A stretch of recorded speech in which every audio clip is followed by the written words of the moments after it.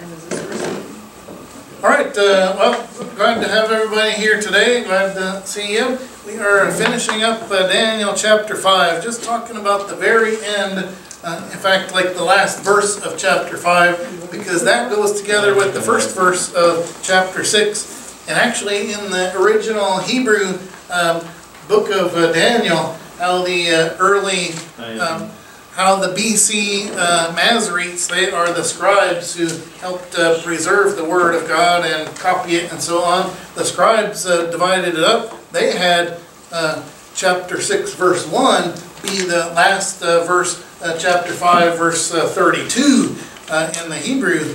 And But in our English Bible, somebody decided at some point, let's put what, what we call chapter 6, verse 1, let's put that with chapter 6 as an introduction. Well, it kind of bridges, you know, as you might guess, bridges the end of chapter 5 and the beginning of chapter 6. Uh, because uh, Darius the Mede is uh, the one that who uh, shows up and appears at the very end of chapter 5. And, um, and we're going to talk about why he's uh, important here. And that's uh, kind of the point here. so, uh, in the very beginning, uh, I, I showed you, and, and maybe, uh, maybe this actually would be a good time to show it again. Uh, may, so I'm going to uh, talk a little bit and introduce this before I fire up the video clip. I think I think I still have it there on my uh, computer. But in chapter 5, verse 31, it says, Daniel says, Darius the Mede inherited or received the kingdom and we're going to talk about that. So what happened in chapter 5 is that King Belshazzar, he's the acting king, as you may recall, his dad was the true king. Um, but what was the message? Why did this hand appear uh, writing on the wall? And what did the hand write? And what was the message uh, that uh, Daniel interpreted for Belshazzar? Let's just review what we learned in chapter 5. That his time was up. Yeah, your time is up. You've been weighed. That's one of the words that uh, the hand wrote up there was weighed. You've been weighed and measured, and you you came up short. You, you are too light is uh, the word that uh, Daniel uses, which sounds like the word uh, shekel, uh, actually in uh, Aramaic tekel, which is like the Hebrew word shekel, and you've heard that word before. It's a weight, a measure of silver or gold and a shekel is a certain weight, uh, so that, you know, just like even in our country, we have a Bureau of Weights and Measures. Let's make sure everybody says, you know, or if you are going to the gas station and buying one gallon of gas, make sure you're getting, receiving one gallon and not nine tenths of a gallon or or something like that, you know? Make sure nobody's getting cheated. A gallon is a gallon. We have, have to have an official definition of what a gallon is so that you know you're getting what you paid for, right? And shekel was the same kind of way, uh, weight, um, so that everybody had a standard. See, the standard, well, God has standards, so King Belshazzar, and you haven't measured up. And so what was the, what's the message of judgment for Belshazzar and his ruling as king. and this is the word paras uh, in the last uh, of the words that uh, the hand wrote up on the wall. Paras, P-R-S. Uh, it is, uh, first of all, it means divided or split. So your kingdom is going to be split, uh, but, um, and it's going to happen by PRS are also the main consonants in the uh, word Persia, the name Persia. And so Daniel uh, kind of builds off of it. This is a, a, pun kind of thing that Larry should be able to appreciate. Daniel is making puns uh, for all these things and saying, hey, you know, uh, the, the Persians are the ones who are going to divide and split uh, the kingdom here. And so the ironic thing is, even while Daniel is speaking, Darius the Mede, who is also called Cyrus the Persian, he is already coming in, sneaking through the uh, the aqueducts, uh, sneaking through uh, tunnels underneath uh, the city, and coming in, sort of like the uh, in the uh, Greek Trojan War, you know, the big Trojan horse idea of they're sneaking into the city and when nobody is watching, and when everybody is asleep at night or whatever, they come out of the Trojan horse and take over everything, right? It's that kind of idea. Cyrus the, the Persian is coming in. He's, again, called Darius the Mede, and uh, he's taking over everything that very night. As uh, Daniel is saying, hey Belshazzar, your kingdom is, uh, your reign is going to be taken away from you. And in fact, uh, he was killed too. Let's read that uh, section here in uh, just the last uh, part of Daniel chapter 5. If you want to turn to Daniel if you haven't already.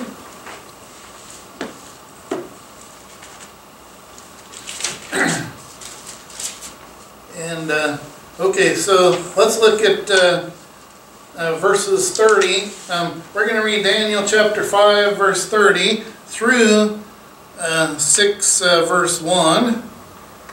Uh, actually, no, never mind. Uh, six, it's 6 1. Uh, I, I said it backwards earlier. Now I have to correct uh, what I said. Uh, chap, uh, verse 31 is uh, 6 verse 1 in the Hebrew. That, I said it backwards, that it's um, that the Hebrew text ends with verse 30, and then 6 1 is what we call 531 here. So sorry about that, that I said it backwards earlier. But uh, anyway, let's just read 5 verses 30 and 31. So somebody read those for us? I'll take it.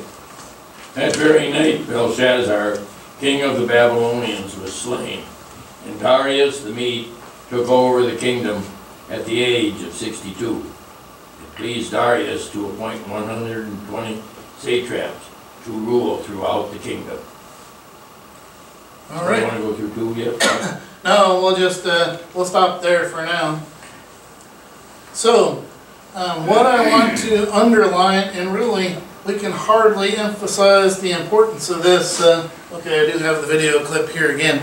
Um, and that is that basically Darius came in, Darius AKA Cyrus. And We'll have to look at the, uh, our study guide too, before, before we watch this uh, video clip. And, uh, and that is, that we want to see, this is going to talk about how Darius and Cyrus are the same person and the significance of him. So, uh, could we get a reader on the, uh, um, on the study guide here? You can either read that first paragraph, or you could just take the whole part under uh, 531, the very bottom, the last part of our Daniel 5 study guide there. So either read that, just the first paragraph, or you can read the whole thing, it's up to you, so. The story told in this chapter, Daniel and the Lion's Den, is most well known. No, we're on uh, five, on the I'm on part that says five thirty-one. That's right. Oops, uh, Oh, yeah, we're on this, uh, On the study. wrong book. we're on, uh, right there, five, Okay. Darius the Mede received the kingdom. Thank you. Darius the the Mede receives the kingdom. There's been much debate over the identity of Darius the Mede. But, long story short, in six twenty-eight, Daniel says that the, that he prospered during the reign of Darius, which is the reign of Cyrus the Persian. It makes sense that Daniel would be interested in him if he were, if he may indeed be Cyrus the Isaiah, that Isaiah prophesied 150 years earlier in Isaiah 48, 44, 28, and 45, 1. Daniel served in the king's court, so would have known about Darius like Cyrus, dual heritage, and thus two names. The father being a king of Persia, and his mother a daughter of the king of Media. Darius Cyrus united the Medes and the Persians in his dual heritage as Persian and a Mede and he eventually became ruler of the combined kingdoms of the Medes and the Persians. Dr. Steinmann says that, it says in the Concordia commentary, it would have been more accurate to describe him as an active conqueror, since he defeated the Babylonians and seized the throne that had been occupied by the Chaldean kings. However, these statements by Daniel should be read as theological in nature. Daniel often uses the passive construction that implies that God is the real agent of action. The statements in 6.1 and 9.1 do not focus on human actions, but instead imply that behind all human authority is God, who makes king of whomever he pleases, a point that made Daniel, a point made repeatedly in Daniel. Okay, so the, the part, what Dan, or what Dr. Steinmann is talking about is this phrase that I put at the beginning here, Darius the Mede received the kingdom. Why does Daniel say it that way? Why doesn't it say Darius the Mede conquered the kingdom, or Darius the Mede came over and took over everything, or something like that? Why is Daniel saying Darius the Mede received the kingdom? Because this is a very important theological point here. So, from what we had just read, kind of summarize in your own words, somebody, why, why do you think Daniel is saying Darius the Mede received the kingdom? God's work.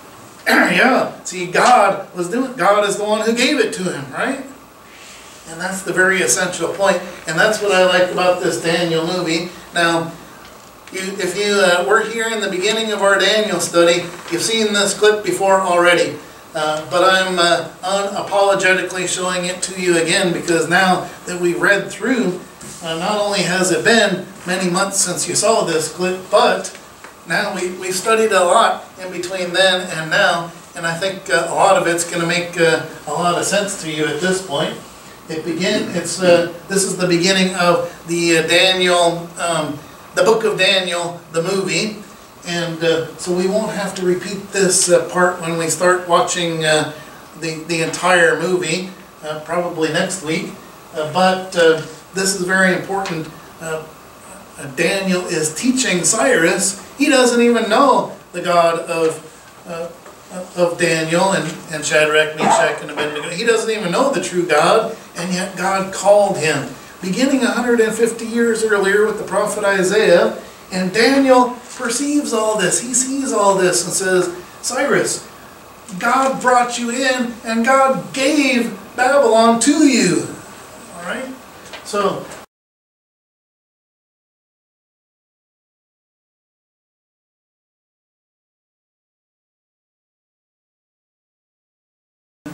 in the next scene, uh, that's kind of the conclusion of the movie because it'll show uh, Cyrus making the proclamation. I declare that uh, the people of Judea who were taken captives are now free to go home. And in fact, I'm going to help them, I'm going to pay for the rebuilding of their city and uh, of their temple and so on.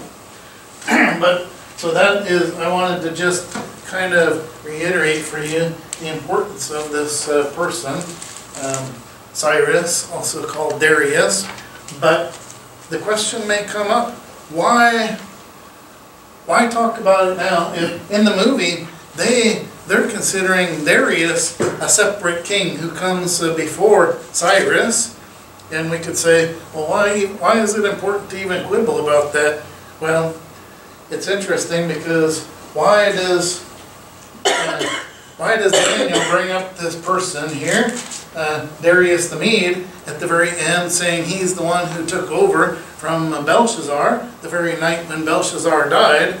That's kind of the point of this is uh, at the end of chapter 6 uh, is when uh, Daniel says, So Daniel prospered during the reign of Darius and, and the reign of Cyrus the Persian. Uh, but in the, in the Hebrew language, that and, when it says during the reign of Darius and the reign of Cyrus, that and could mean which is also, so the reign of Darius the Mede, which is also Cyrus the Persian.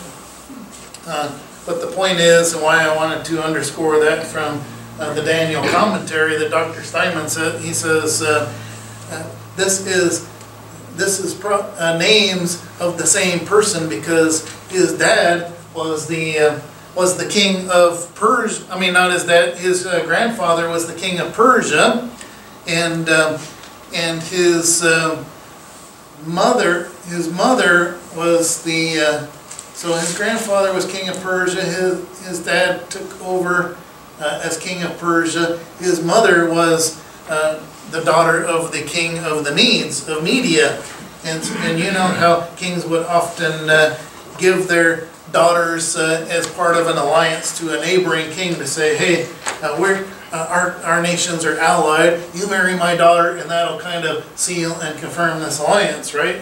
And so that's what they did. So uh, Darius is a Mede, but he's also a Persian. He's both, and that's how he unites the uh, Medes and the Persians, uh, which in history is is known as the Medo-Persian Empire at that point because Cyrus Darius is the one who brought together the Medes and the Persians as one uh, empire. so anyway, that I, I just wanted to underscore about that because the whole point of Daniel is that God is in control of all these things. And just in that one word alone, uh, in uh, chapter 5, uh, verse uh, 31, Darius the Mede, oh, I noticed in the uh, NIV, Darius the Mede took over the kingdom, but the uh, but it would, it's a better translation to say he received the kingdom, uh, because that's uh, sort of the flavor of the uh, of Daniel's uh, Hebrew, or yeah, this is Aramaic actually at this point. The Aramaic word he received the kingdom. He didn't like. It's not because of what he did. It's God gave it to him. Okay, so, so sorry for belaboring a, a point, but this is so important. This is the whole point of all this. So back in the book of Isaiah has all the things that Daniel was telling him then? So Yeah, that wasn't actually a yeah. version Daniel I- and I list the-. I list the passage that Daniel was quoting, Isaiah 44 and 45 there. Those are the two specific verses where Cyrus is name, mentioned by name. So over a hundred years before he's even born, uh, Isaiah is writing these things. And so that, it's remarkable about, I took a class on the prophet Isaiah, uh, not about, uh, nine or uh, ten years ago in grad school, but, uh, anyway, the, the teacher was saying, you gotta understand and appreciate what a miracle this is and how remarkable that it's so oddly specific. God says, I'm gonna call you by name, Cyrus, Cyrus, I'm gonna call you to, to do this, to take over Babylon and to set my people free. Uh, And that's why I think they did a good job in the movie of Daniel coming and saying, uh, and Michelle said, wasn't it Nehemiah? Nehemiah is later. Uh, So Nehemiah later also talks to, to uh, King Cyrus as well. But I think it does say Daniel served and prospered under this guy. And uh, at least for a few years before they were able to uh, go home. And I don't know if uh, Daniel ever did actually go uh, back, uh, go to, back to Judea. Maybe he did, but anyway, the point is that uh, it's so oddly specific that Isaiah mentions Cyrus, that it's like, this is so miraculous, this prophecy that did come true. You know? Amazing, amazing. Maybe a little off topic, but in twenty-nine, it's, you know, where Daniel tells Belshazzar what this all meant. Daniel was clothed in purple, gold chain was placed around him, he was promoted to third highest in the ruler in the kingdom. And that very night, his, his promotion was worthless. Yes and no. Yeah, because the new king uh, Darius could come in and say, well, I'm king now, I'm gonna install on my own uh, managers, and so, you know, yeah, you, you might be the highest manager, uh, Daniel, but you're out of here, I got my own guys. But I don't think, but he didn't, uh, Yeah. clearly. God still had the, the plan to prosper. But uh, as we get into chapter six, uh, Daniel is not the uh, chief guy under Darius. Uh, Darius almost uh, has to be told about that. Hey, there's this guy, uh, Daniel. Actually, I think he knows uh, Daniel, but he's not as close as, you know, the king's uh, own right-hand man or something like that. Well, It's funny that Belshazzar promotes him after he says, your kingdom's over. Yeah, I know. Yeah. I know, that's right. He's the bearer of bad news, and yet Belshazzar is uh, glad to have the interpretation. He doesn't know that he's going to die that very night at that point, I think. But uh, he promotes Daniel, and then he dies. So, Okay, uh, we, are we ready to get into chapter six? So, uh, we do want to get into chapter six. That, that was kind of the, this was all just the extended introduction to that, but it's to show you the remarkable circumstances. So let's look at, uh, let's just start out with uh, verses one to five of chapter six. Could somebody read those for us?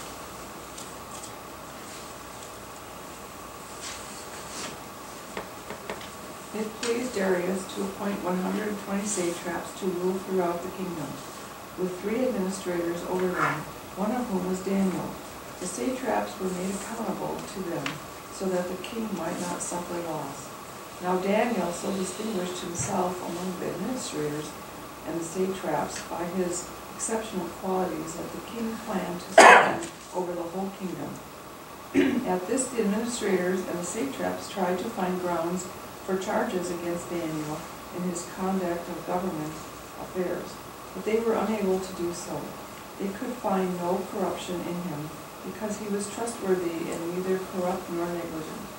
Finally, these men said, We will never find any basis for charges against this man Daniel unless it is something to do with the law of his God. Okay, so he's so good with, you know, seventy years of experience in government administration here in Babylon that, I mean, it's like, who with seventy years of experience at anything are you gonna be able to find something wrong with? I mean, he knows, he, he's the best, you know?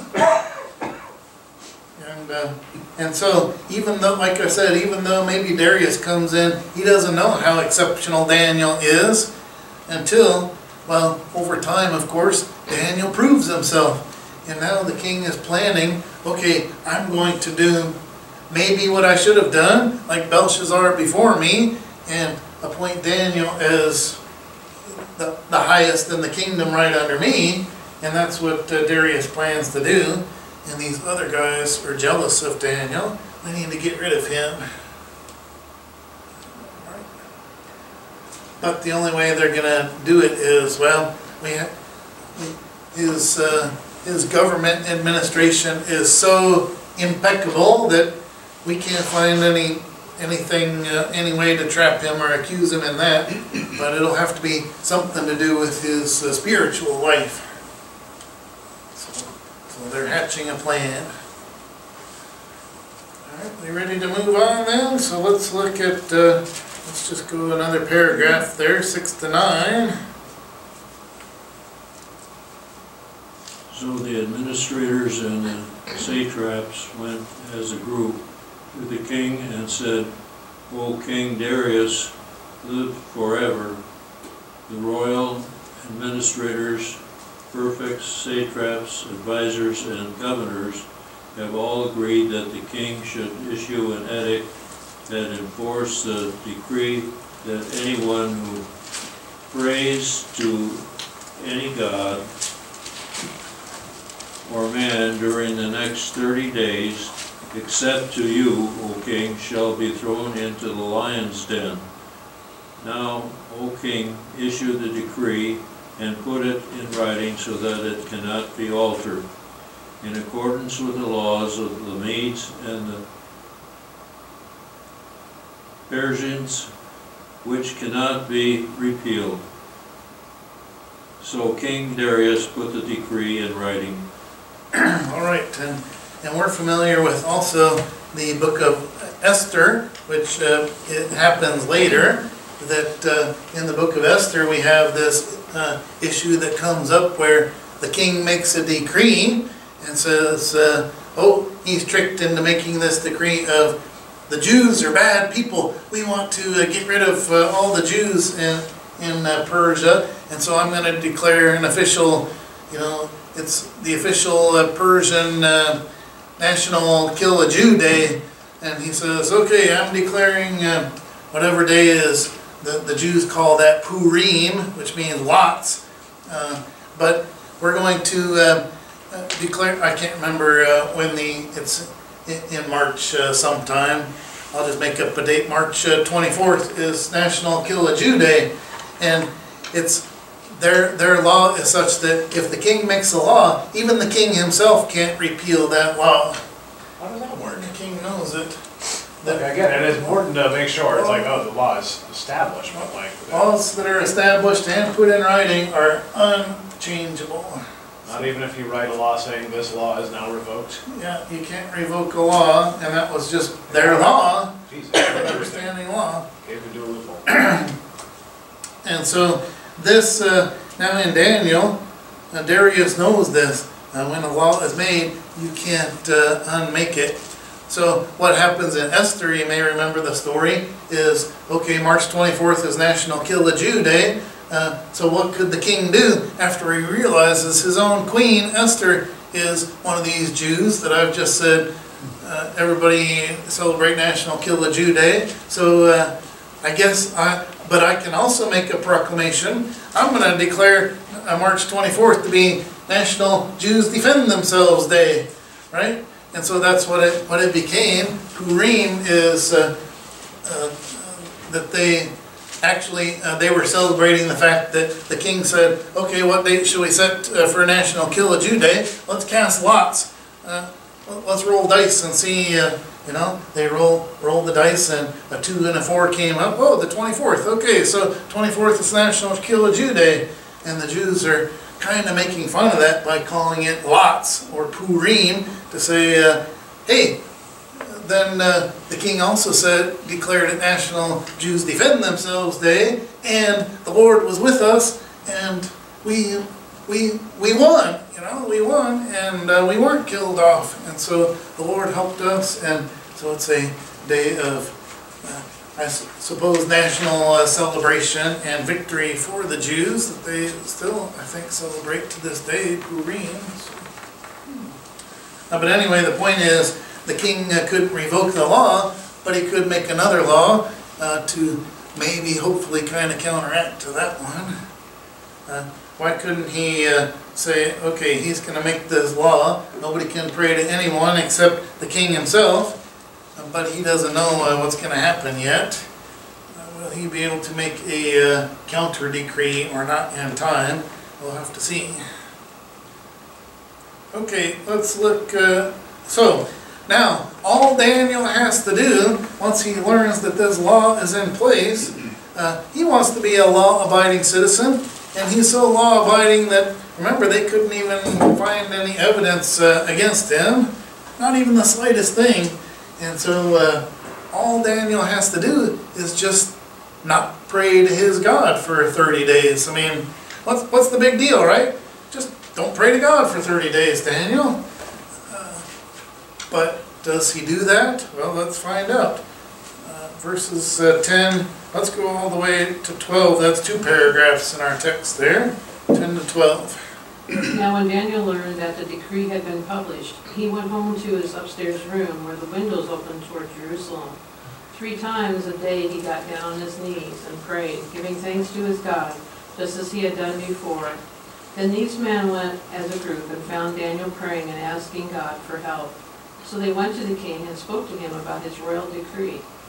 Did you not publish a decree that during the next thirty days, anyone who prays to any god or man except to you, O king, would be thrown into the lion's den?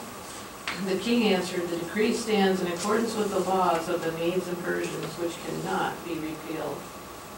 Okay, so he Tattletale. says, yep, it's a, it's a uh, law. Yep, we made that law. Yep, that's right, that's right. Have their, have their cell phones and they were video, Yeah. recording him, not recording. Same Hey. They set, on the footage. they- they set Daniel up, didn't they? Now, They were make this law and they were gonna spy on him. we have, we have to, uh, you know, you look at verse 10 and you say, Daniel is either really dumb or he's just really bold. And of course, we can't accuse Daniel of being dumb, stupid. So uh, we know he's not stupid. So he's just that bold where not only is he, you know, gonna disobey this decree, he has to. Uh, And, and for Daniel, why do you think, why, why doesn't he just, just refrain from praying to God for a month? Is it that hard? Just don't worship God for a month. Uh, What, what, what's Daniel's attitude about that? Are you gonna ask me to stop breathing for a month as well? I know, right? Yeah, see? That ain't happening, buddy. Kind of goes back to the first commandment, and, and you have one God, and now you're, you're following, by, by, by not doing that, you're actually following their law. Yeah, see? By not uh, worshiping God, not praying to God. It's not only natural, I mean, it's, it's our very life, but to not do worship or pray to God would be to deny God, right? And I think this is a case of God being in control because he didn't go in private, and in a sense he could because they say don't, don't pray out where everybody sees you, right? But to be recognized, that's the Yeah, Pharisees, right? he's in his room, So he opened up his window and, and was seen, was able to be seen. So is that God's hand in there because of what's gonna come after this? yeah, I mean, and his windows happened to be, he, he must have requested, or he had a room where the, there are windows that face to the southwest, which would be toward Jerusalem. And why is that? And I have a, uh, I have a note in our study guide there. I didn't talk about the introductory uh, paragraphs on your study guide, maybe we'll come back to those, but this point here is uh, when, uh, when Solomon is building uh, this temple, actually David, when David's talking to the Lord about building a temple, this is what I want to do, Lord, and, and God is saying, uh, okay, build this temple, David. Actually, you're, you're not going to be the one to finish it, uh, your son Solomon will, but that's another point. Uh, but David is like, let this be your house, your dwelling here on earth, and let everybody be able to come and to say, this is uh, the Lord's house, and, and then our, our prayers will be, that you will hear our prayers and all this. And, uh, and David, in fact, is like, and everybody who's not in Jerusalem at this temple can face toward the temple and offer their prayers toward the temple. And that's uh, the, uh, the phrase that uh, David uses is, their prayers will go toward your temple. And so that's kind of the point of, you know, that, that Daniel has these windows that face, are facing toward Jerusalem, toward God's temple. So do Jewish people still do that today? Three times a day they, they, they pray? and I think the Orthodox Jews do, that they will face uh, to the east, or actually from wherever you are, face toward Jerusalem. Yeah. It's just, as you know, because the Muslims, Mhm. at least three times a day, will face Mecca. Yeah, and a lot of, uh, a lot of Christian churches were built traditionally facing toward the east. Now, ours, when we do, well, we are facing toward the east, aren't we, uh, as we face toward our altar, which is interesting. Now that, in fact, that's where our word orient uh, comes from. Orient, as you probably know, means east, uh, eastern. And so to orient yourself means to face toward uh, God's temple, and that's your orientation in life. Uh, I mean, we always talk about, we use our compasses and stuff, and we get everything oriented. You're facing north, right? Or the North Star Polaris or something like that. And that's how you orient yourself and get your bearings. And in fact, the word bearings, I mean, Mr. Pilot can tell us, start at zero, that's due north, right? And go around to 360, right? And uh, uh, so we have north as our sort of bearing, but traditionally it was always, oh, the east, at least that's the Western Christian's perspective, is everything is facing toward Jerusalem. That's where God's uh, temple is.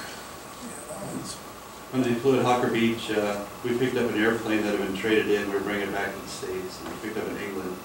And it actually belonged to the Bin Laden family. So I mean, Oh. this is, this is a big family, not just that one bad guy out of the group. Um, And so on a lot of airplanes, you'll see a thing called air show, and air show shows you like where you're flying over now, what city, where you're going, direction, things like that. On their air show in the airplane, it always pointed, it showed them where Mecca was. So Oh. that if if it was time to pray, they, they knew which way to face while they're on the airplane. So for them, orientation is Mecca, everything, you know, points toward Mecca. For Jews and Christians, it's always been, well, Jerusalem is our orientation.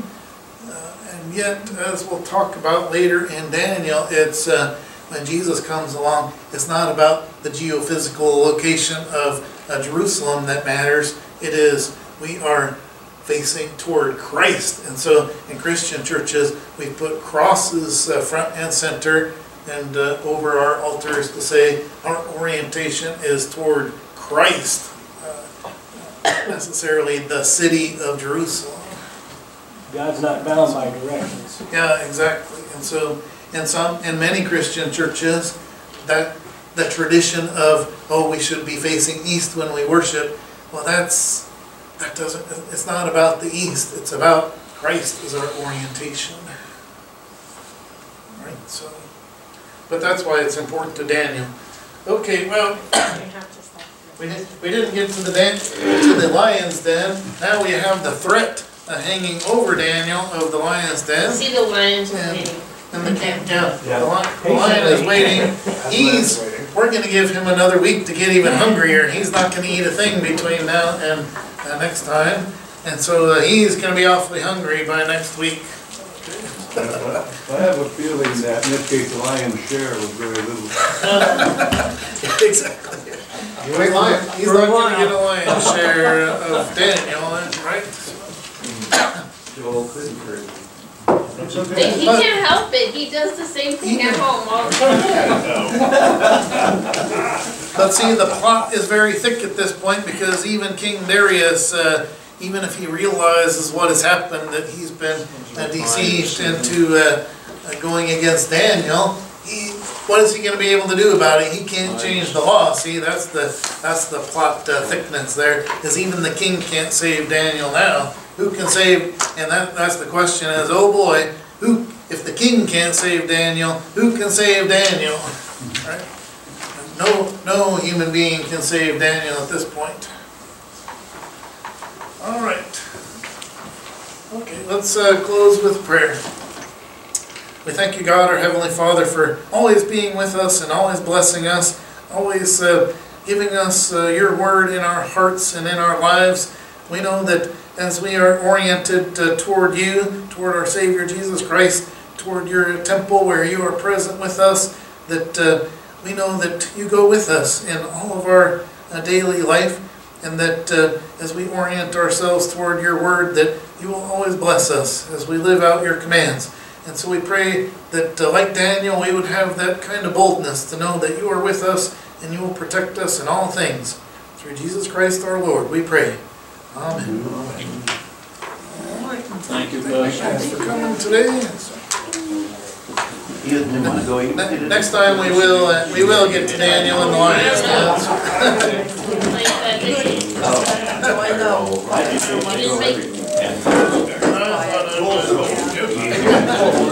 Aircraft factory. Oh, do you? You gotta have that anticipation. Yeah, Yeah, yeah? What are you doing there? when building my aircraft. You still working on it? Yes, sir. I know, you showed me what you were doing. when you were numbers ago. Oh, but you're- Uh, I think by spring I'll be ready. can leave the, uh, lion, Betsy knows that it's here. That's exciting.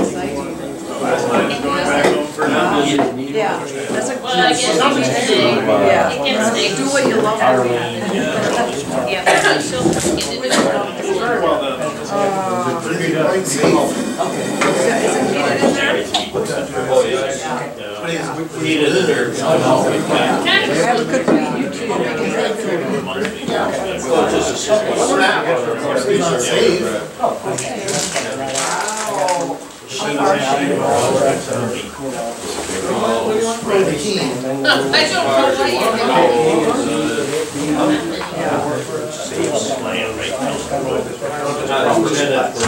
Long. Short, short.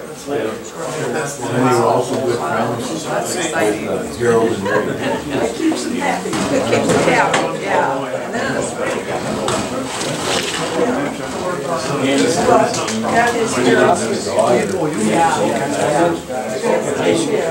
too. How you?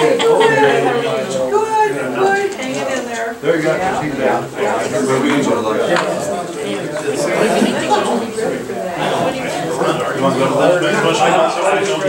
I gotta run, I have a job. The I run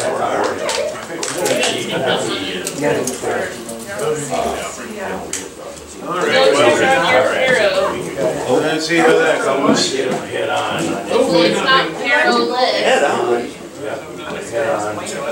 And luckily he was driving his mother's We're driving He bought Kind of- mother's kind of out of the Chevy way. Impala. It's like that, like that. Yes, it's the opposite way. Six, six miles. Luckily, Oh, that- he wasn't. Where was he? As a, as a crow. They live in Caledonia. He was on Yeah, but Highway it's kind of trouble. I I need several crows to lift me Well, up. Well, he was right in an intersection. right up, it's- Luckily, it was like, It's, it's, I think it was like a seven sound, fifteen in the morning. So he was stopped? doesn't sound great, it's a mix. He was traveling at about But thirty miles an hour in a breakfast, forty-five zone. Regular. And But a I- guy waiting to make the left turn, turn your camera suddenly on. turned right in front of I him. need a- minute if you've got Hit it.